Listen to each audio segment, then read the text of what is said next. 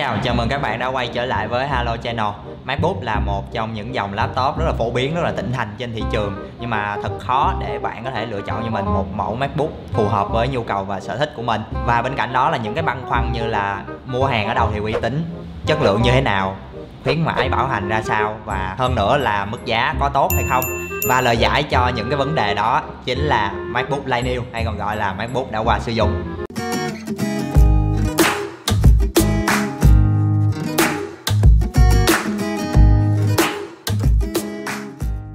Tại Halo luôn có một khu vực trưng bày sẵn tất cả các mẫu MacBook Light đã qua sử dụng, được trưng bày rất là trực quan và khoa học với các cái đời máy từ 2012 đến 2018 cho các bạn lựa chọn đảm bảo phù hợp với tất cả các nhu cầu của mình. Mình sẽ đơn cử một vài trường hợp ha. Đối với những bạn nào mà có nhu cầu mua MacBook để phục vụ cho nhu cầu học tập, làm việc và giải trí rất là nhẹ nhàng thì chúng ta có thể lựa chọn mẫu máy MacBook Retina 12 inch này hoặc là MacBook Air 11 13 inch thì nó sẽ phù hợp với nhu cầu đó. Và hơn thế nữa, nó có khả năng trình chiếu lên màn hình lớn tivi vân vân, để phục vụ cho nhu cầu khi mà chúng ta học nhóm như là các, trong các buổi họp tại công ty.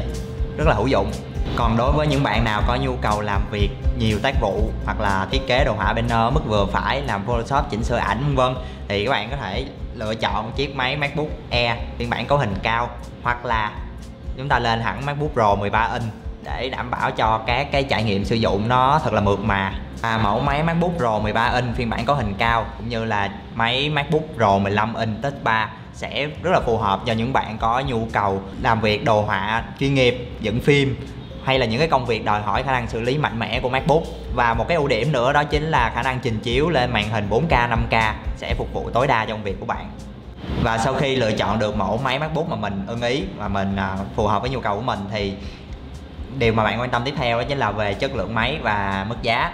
Thì uh, mỗi chiếc máy bán ra tại Halo đều được kiểm tra rất kỹ càng cho nên là về ngoại hình đó các bạn có thể thấy nó rất là mới hoặc là có chăng chỉ là một vài vết xước mà thôi. Còn phần mềm Halo đã có một clip về quy trình kiểm tra 6 bước những chiếc máy MacBook đã qua sử dụng. Các bạn có thể xem lại tại đây còn về phần giá hãy thử so sánh nha. Đối với chiếc máy MacBook Pro 13 inch Touch 3 2018 ở đây đang sở hữu mức giá là 35 triệu 800 ngàn đồng. Thì à, so với mức giá của máy mới nó đang chênh lệch đến 7 triệu đồng. Còn với chiếc MacBook Air 13 inch 2017 mức giá chênh lệch cũng đến hơn 6 triệu đồng.